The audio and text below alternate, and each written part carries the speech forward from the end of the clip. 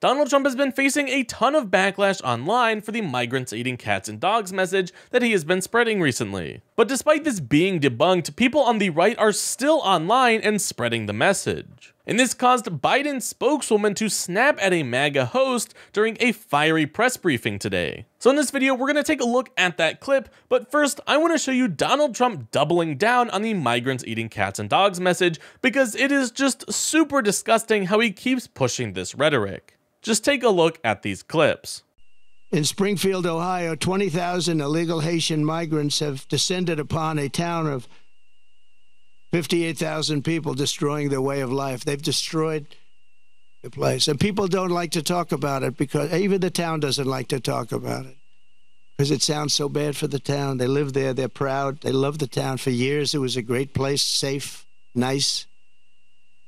Now they have 20,000, and I actually heard today it's 32,000. It's the new number. The mayor of Springfield, Ohio, the police chief, the Republican governor of Ohio have all debunked this story about people eating pets. And now there are bomb threats at schools and kids being evacuated. Why do you still spread no, no, this no. story? The real threat is what's happening at our border because you have thousands of people being killed by illegal migrants coming in and also dying. You have women dying as they come up. They're coming up in large groups. We call it a caravan. I think I came up with that name, but it's really what it is 10,000, 15,000, 20,000 people. President, Springfield, Ohio is experiencing a migrant crisis. Will you Yes. an event there to show the media what's actually happening, maybe a town hall? Well, we could, and maybe we'll do that. Where are you from? That's good. Very good. They're doing a very good job. Yeah, that's very good. No, I, I will, maybe Springfield, uh, maybe Aurora, maybe both. We'll go there. Uh, I can say this uh, we will do large deportations from Springfield, Ohio. Large deportations. We're going to get these people out. We're bringing them back to Venezuela. You know, he told Biden he's not accepting anybody back. They moved all their criminals, not all of them, but the rest are moving in now. They emptied their jails in Venezuela, emptied their criminals, emptied the nests. They call them nests of bad people. They're all now in the United States and they're now taking over cities. It's like an invasion from within. And we're going to have the largest deportation in the history of our country. And we're going to start with Springfield and Aurora. So yeah, it is just so unbelievable that he continues to inflate this issue that is not even an actual issue. And this rhetoric is even going all the way up to the Biden administration because his spokeswoman had to snap at a MAGA host during this fiery press briefing today. So take a look at that clip. But do you do you take this personally when com the community is a target of attack as it is at the moment in, Spring in I, Springfield? I take it personally when any community, any vulnerable community is attacked.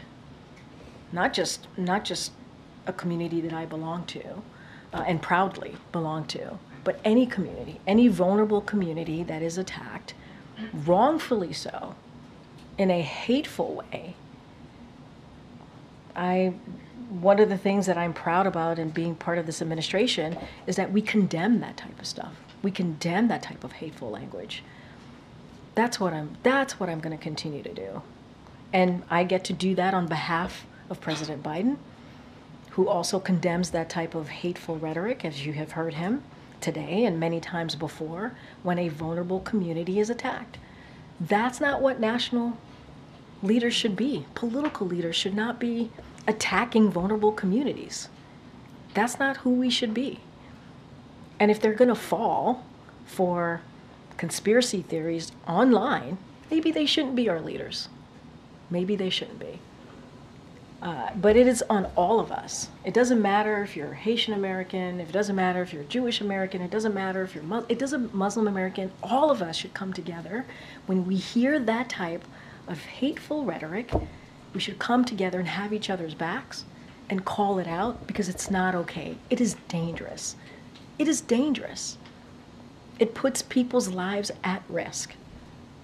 And this president is going to continue to stand up and speak against it.